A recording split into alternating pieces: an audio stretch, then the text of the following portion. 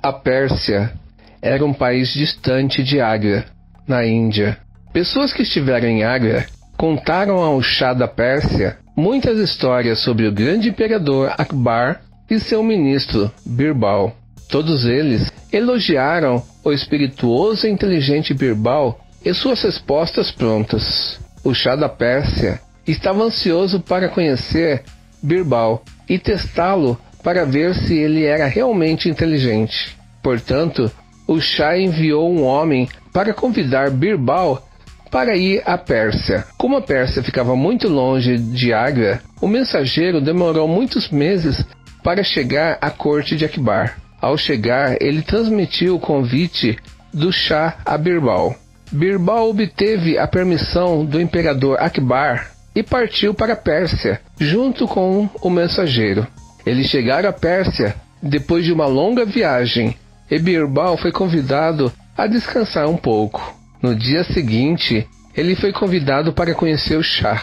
No tribunal, ele viu uma cena estranha. Havia cinco pessoas vestidas com roupas semelhantes, todas vestidas como rei. Todos eles se sentaram no mesmo tipo de tronos e todos se comportaram da mesma maneira. Birbal sabia que deveria se curvar diante do chá e oferecer respeitos, mas nunca o havia visto antes. Como ele poderia conhecer o chá se todos os cinco estavam vestidos da mesma forma? Birbal olhou para os cinco homens sentados no trono, da direita para a esquerda e depois da esquerda para a direita, repetidamente. Então ele foi na frente de um deles e o cumprimentou. Ó oh, grande chá da Pérsia, o imperador Akbar envia seus cumprimentos e presentes a você, Sua Alteza.